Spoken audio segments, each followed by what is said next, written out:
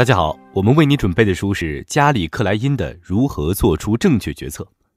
在生活中啊，我们无时无刻不在做着决策。小到去商场买东西的时候，我们如何确定哪条结账队伍最快；大到当地震发生时，我们究竟是要跑还是要躲？所以，我们每个人都是决策者。我们的现状就是所有决策集合的结果。不擅长决策的人会在小事陷入选择困难症。比如在网购时挑了半天，纠结致死，可最后却选了最开始看中的那一件，不仅耽误了时间，还把自己搞得精疲力尽。更可怕的是，不擅长决策的人在时间有限、压力较大的情况下，常会做出错误的决定，结果造成了损失，付出了惨重的代价。既然我们的人生始终要与决策相伴。那么，只有我们洞察到决策的最深本质，在不确定时刻做出最优的选择，我们才能更好地掌控命运。如果你想知道关于决策的奥秘，不妨读一读这本《如何做出正确决策》。本书作者加里克莱因是美国知名认知心理学家，同时呢，也是美国政府和企业最敬佩的决策导师。他写的这本关于决策的书，被美国商业与策略期刊评为二十世纪以来最具影响力的图书。甚至成为麻省理工学院的指定经典读本。接下来，我将为大家解读这本书的精华内容。读完之后，你将认识到究竟是什么因素在影响我们做决定，了解到真正的决策高手是如何做决策的。你还能够了解到提高决策能力的具体方法，从而把握好人生的每一次机会。事不宜迟，让我们一起来学习吧。首先，我想问你，你平时是如何做出决策的呢？你也许会说，我会先找到所有的选择，然后再对这些选择进行比较，最后选那个最优选项。就比如，当我想买电器时，我会货比三家，从性能、价格、售后服务等各方面进行比较，然后再决定买哪一个。不得不说，你的这种决策方式很理性。可是，你有没有想过，这种决策方法可行的前提是你必须能掌握所有信息，这些信息也必须是可靠的。同时呢，你也必须有充裕的时间、饱满的精力。可是，如果你现在时间紧急，决策的这件事儿呢也比较复杂，你能掌握的信息也很有限，那么你就很难再用这种方法进行决策了。这时候，我们又该怎么办呢？为了找到这一问题的答案，本书的作者加里克莱因对消防员、军人、医生等职业进行了多年的实地跟踪。这些职业啊，都有一个特点，就是他们必须在很短的时间内做出决策。而这个决策的影响又特别大，一旦决策错误，就可能会有人付出生命的代价。在多年的实地跟踪中，克莱因发现，那些在做决策时深思熟虑、分析比较两种以上行动方案的人，往往是新手；而有经验的专家靠的不是理性分析，而是直觉。这听起来似乎有些不可思议，靠直觉来决策，这也太不靠谱了吧？可这些专家的直觉常常准得可怕。在书中，克莱因给我们举了一个消防员的例子：一个消防队长带着他的部下去救火，本来火情呢是比较容易处理的，可是消防队长进到那栋着火的建筑物时，却感觉很奇怪。一来是房间里的温度感觉比平时高了一些，还有就是现场太过安静，没有着火时噼里啪啦的声音。消防队长觉得整个现场模式不太正常，可他又说不出来哪里不对，于是他马上组织部下撤离了大楼。谁知道，当众人退出大楼没几秒，整座建筑物就突然倒塌了。如果刚才大家还待在原地，此刻必然已经葬身火海了。事后经过调查才知道，原来当时着火的地方是在地下室，所以温度才会比平时高，而且有了地板挡着，着火时噼里啪啦的声音被降低了。可是当时消防队长根本不知道这栋建筑物还有地下室，他所有的判断都来自于直觉。其实生活中很多领域的高手在决策时靠的都是直觉。篮球运动员投中三分球靠的是所谓的手感，老警察发现罪犯经常靠的是直觉。就连全球首富贝索斯都曾说：“我最好的决策都是靠直觉，而不是分析。”那是不是说我们任何人在决策时都不要动脑子，凭感觉走就行了呢？当然不是了。准确的直觉来源于丰富的经验。作者在书中说。大多数人都以为直觉是一种先天特质，但实际上啊，直觉可以被训练的，它会随着经验的积累而愈加成熟。经验越丰富，直觉的准确率就越高。那么靠直觉决策是不是能达到百分之百的准确呢？当然不可能了。就算是经验非常丰富的医生，也不敢只凭感觉给病人开药，因为那百分之一的错误就可能带来无可挽回的后果。既然我们不能完全靠直觉决策，那直觉还有什么用呢？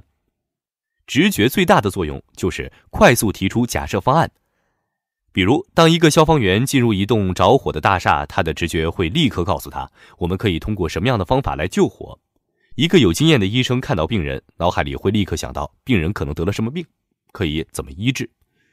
当你的直觉给你提供了一个假设方案，接下来你就可以运用模拟演练的方法来判断这个决策是不是可行。举个例子，你的领导交给你一项任务，就是呢马上组织一次紧急会议。因为时间紧、任务重，你不可能静下来想一想有几种组织方式，然后呢通过比较找到最优的方案，而是靠直觉立刻先想到一个方案，然后呢你会在脑海里模拟演练整个方案，看看呢是否可行。一旦觉得没太大问题，你就会立即行动。好了，让我们来总结一下，决策高手们是如何做出决策的。他们会通过直觉来产生解决方案，再通过心理模拟来验证这个方案是否可行。然后在最短的时间内找到可行的方案。克莱因把这种做决策的方式叫做 RPD 决策模型。在克莱因看来，RPD 决策模型是最有效的决策思维，它适用于信息缺失、时间有限、风险较大等决策难题。RPD 决策思维最大的好处就是它不需要我们在比较和权衡中浪费时间，而是呢能在短时间内高效的解决问题。虽然 RPD 决策模型是最有效的决策思维，但不意味着它就是屡试不爽的。有的时候啊，我们的直觉也有漏洞。我们在心理模拟的时候，也可能忽略一些重要的细节。但好在，除了直觉和心理模拟这两个核心的决策方式以外呢，决策高手们还有很多其他的能力，能帮助他们做更好的决策。作者把这些能力称为决策的力量之源。决策的第一个力量之源就是杠杆点。什么是杠杆点呢？就是解决问题的突破口。阿基米德曾说：“给我一个支点，我就可以撬起整个地球。”这句话就是在告诉我们杠杆点的威力。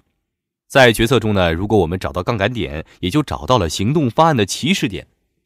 比如，亚马逊公司之所以能在日新月异的商业潮流中屹立不倒，是因为亚马逊的创始人贝佐斯找到了公司发展的杠杆点。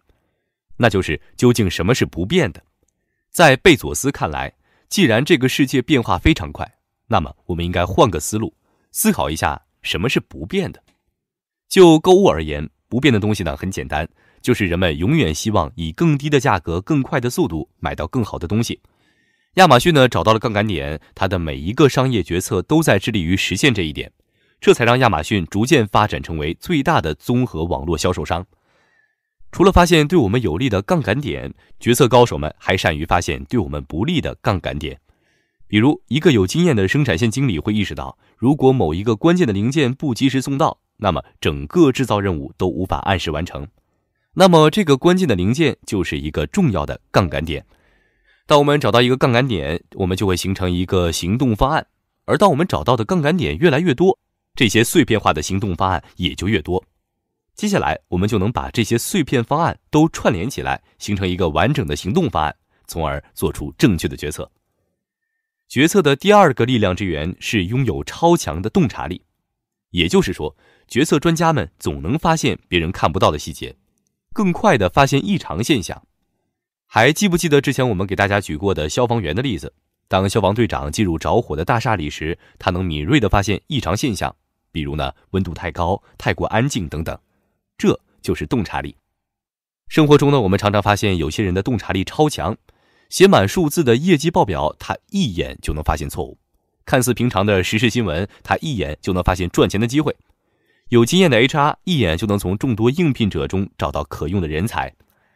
在书中呢，作者举了一个令人印象深刻的例子：为了观察决策高手们是如何决策的，克莱因曾在医院的新生儿监护室里工作过。他发现啊，有经验的新生儿科护士总能一眼就判断出婴儿是否得病，有时候呢，甚至比科学的测试还要准确。这是因为这些护士在长期工作中训练出超强的洞察力，他们能敏锐地观察到婴儿细微的变化。比如，如果一个婴儿之前每次量体温都要哭闹，某一天却没有哭闹，那么这就是一个危险的信号。当然，护士们不会根据一个线索就武断地做出决策，而是关注到一系列的线索，然后综合起来进行考量。总之，拥有洞察力的人能够更快洞悉事情的本质，找到解决问题的关键，从而做出更正确的决策。决策的第三个力量之源是拥有经验迁移的能力。也就是要学会类比，决策高手们呢会将当前的情境和之前经历过的类似情境进行对比，就好像呢往自己的经验银行里调取经验资源一样，更快的找到解决问题的办法。生活中我们常常需要有经验类比的能力，比如当你的汽车无法启动时，你会思考到底是哪里出了问题，是电池没电呢，还是发动机坏了呢？这时候呢你会联想到一个经验。就是之前有一次呢，你忘记关掉车灯，结果电池里的电量都耗尽了，所以你想到你可以开启车灯，检查下电池是不是有电。如果有电呢，那多半就是发动机的问题了；如果没电，那可能就是电量的问题。所以决策高手们之所以能做到高效决策，其中一个原因就是他们类比的经验特别强。首先，他们在某个领域已经积累了丰富的经验。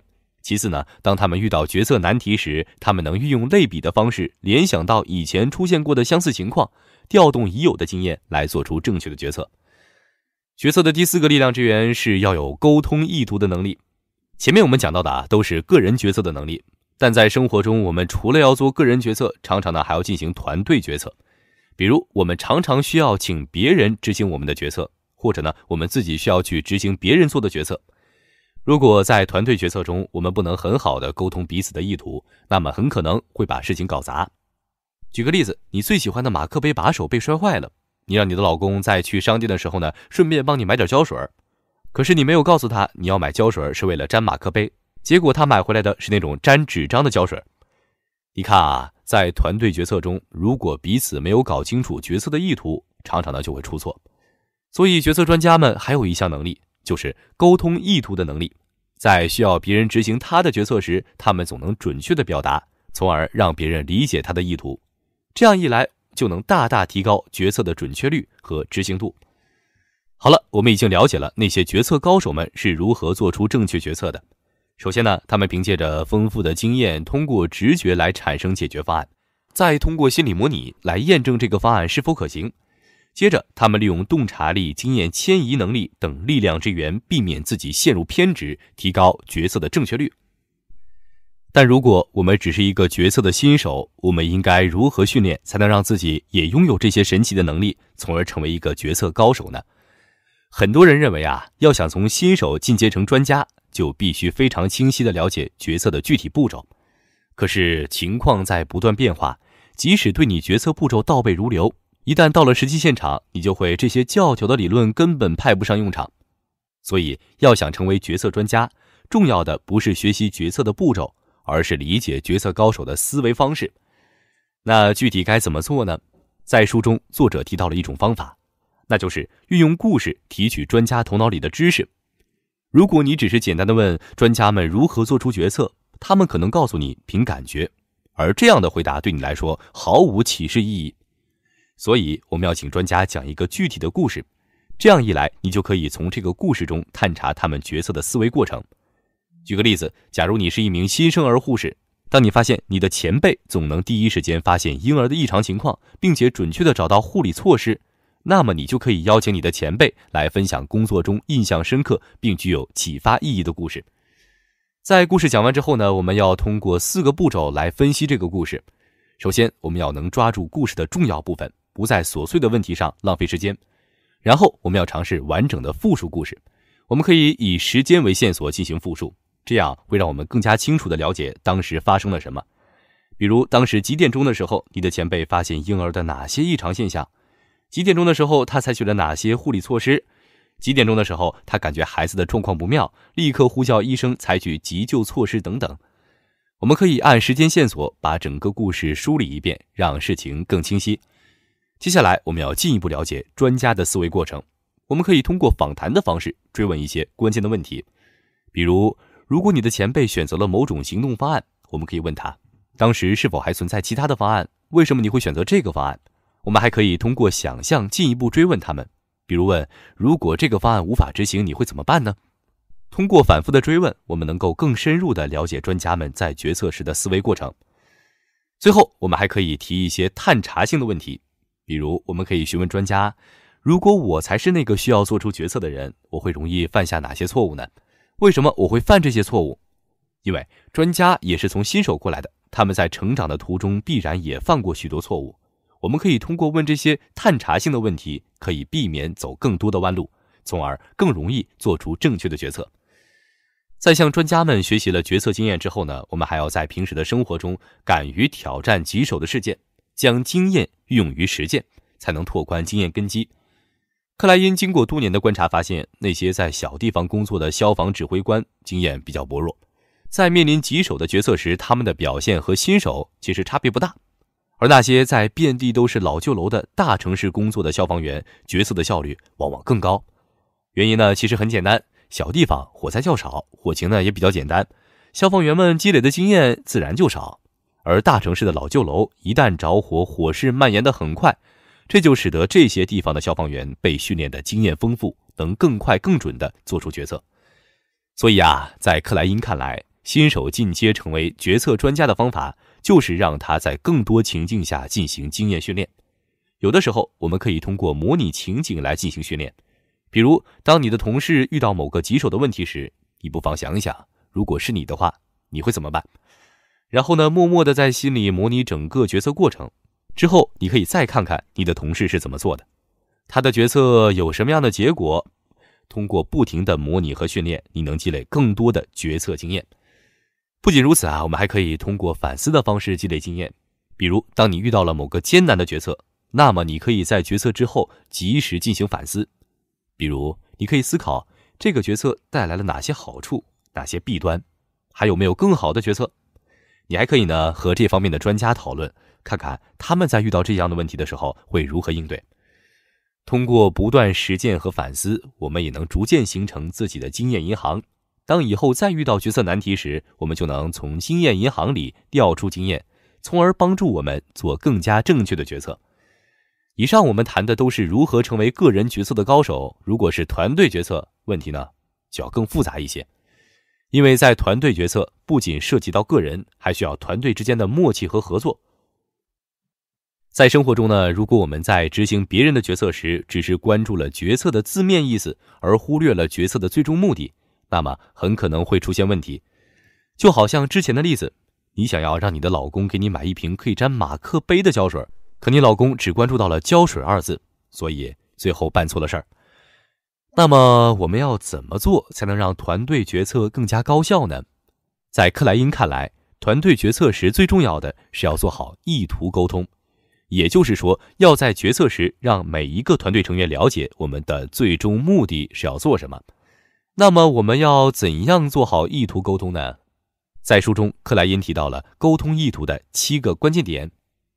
让我们还是回到之前的例子来说，你心爱的马克杯把手坏了，你知道呢？你老公下午会去超市，所以你请求他到超市旁边的五金店给你买一瓶胶水。这就是一个简单的决策执行工作。那么你要怎样和老公沟通意图，才能确保他不会买错呢？首先啊，我们要沟通的第一个关键点是任务的目的，也就是你要老公买胶水的目的是什么？如果你不告诉他你要用来粘马克杯，那么他很可能会给你买一瓶粘贴纸张的胶水回来。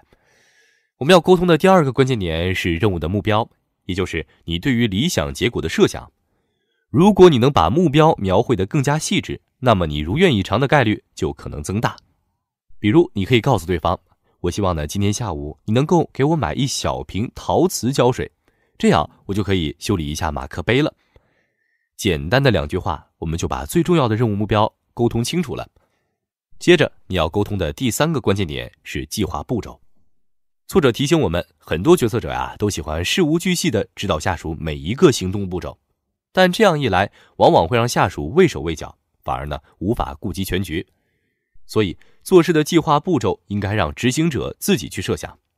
比如，当你要你的老公买胶水时，你不必要求他必须先去超市买完全部东西再去五金店买胶水，而是可以放手让他自己去处理。然后我们要沟通的第四个关键点是计划的基本原理。虽然我们不需要要求执行者按照我们的计划行事，但是我们还是要把计划的基本原理和他们沟通。比如，你可以告诉你的老公，如果你在逛超市时呢看到陶瓷胶水，就可以直接买；如果没有，再到五金商店买也不迟。当你告诉对方计划背后的原理，其实呢就是在为他设计一个新的行动方案。当然，最终选择哪个方案还是取决于执行者本人。接着，我们要沟通的第五个关键点是帮助个体做出关键决策，意思就是作为决策者，我们要对可能出现的意外情况做出预期。并且告诉执行者，这时候你该怎么办？比如，你可以提前预料到，如果五金店实在人多，要排队半个小时，你就别买了。晚上的时候呢，我再自己去一趟。再之后呢，我们要沟通的第六个关键点是反向目标，也就是和执行者沟通你不希望发生的结果。比如，你可以叮嘱另一半：“我不希望你买的是粘纸张的胶水，或者不希望你买某某牌子的胶水。”最后，我们要沟通的第七个关键点就是注意事项，也就是在执行决策的过程中，还有什么需要注意的地方。我们可以提前和执行者沟通，比如，如果你知道去五金超市的某条路正在修路，你可以提前提醒老公不要走那条路。除了这七个沟通的关键点之外呢，作者克莱因还提到，优秀的意图描述还要把时间和资源囊括进来。比如你要讲清楚这个任务什么时间内就要完成，我们可以付出什么样的代价等等。当决策者和执行者做好了详细的意图沟通，那么执行者就能很好的想象决策者的思维过程。有时候啊，不需要你持续下令，执行者也能按照计划灵活变通，很好的完成任务。当然，作为新手的我们，很多时候担任的不是决策者的角色，而是执行者的角色。那么我们就要提醒自己，不要一味的被动执行上级的命令。因为一旦碰到情况有变，决策者来不及改变行动方案，那么作为执行者的你，很可能呢就会把事情办砸。所以在行动开始之前，我们要把沟通意图的七个关键点搞清楚，尽力去理解决策者的意图，尤其是遇到不懂的决策点，应该事先和决策者沟通，这样呢才能提高执行力，把事情办好。到这里啊，我们已经共同学习了如何做出正确决策的全部精华内容。接下来，我想为你再次总结一下本书的内容。首先，我们了解了最有效的决策思维，也就是 RPD 决策思维。所谓 RPD 决策思维呢，就是通过直觉来产生解决方案，再通过心理模拟来验证这个方案是否可行，然后在最短的时间内找到可行的方案。在克莱因看来，RPD 决策思维是最有效的决策方式。当然，RPD 决策思维并不是屡试不爽的。所以，除了直觉和心理模拟这两个核心的决策方式以外，决策高手们需要很多其他的力量支援，帮助他们更好的决策。第一个力量支援是杠杆点，决策高手们能在第一时间找到解决问题的突破口，并把这些突破口串联在一起，形成一个可行的方案。决策的第二个力量支援是拥有超强的洞察力，决策高手们总能发现别人看不到的细节，更快地发现异常现象。而这种洞察力能让他们做出更正确的决策。决策的第三个力量之源是拥有经验迁移的能力，也就是要学会类比。决策高手们在遇到问题时，总能联想到之前遇到的类似问题，然后调用之前的经验运用于现在，从而让决策更高效。决策的第四个力量之源是要有沟通意图的能力。如果你想请别人执行你的决策，就必须准确表达自己的意图，让别人在第一时间理解你的思维过程，这样才能更好的把决策执行到位。在学习了决策高手是如何决策的之外，我们还学习了如何从一名决策新手蜕变成决策高手。首先啊，我们通过讲故事的方式学习决策高手们的思维方式。你可以请某一个领域的专家讲一个印象深刻的决策故事。通过访谈的方式了解他们是如何决策的。接着，我们还要勇于挑战棘手的事件，把从高手们学到的经验运用到实践中。如果是团队决策，我们则要做好沟通工作，关注到意图沟通的七个关键点，从而让决策更好的落实到行动上。好了，相信听完这本书的小伙伴们会对决策这件事有更深的体悟。希望大家啊能把书里提到的技巧运用到生活和工作中。让我们能不断提高决策能力，成为一名决策高手。好了，这本《如何做出正确决策》就学习到这里，期待与你下一本书的学习。我们下次再见。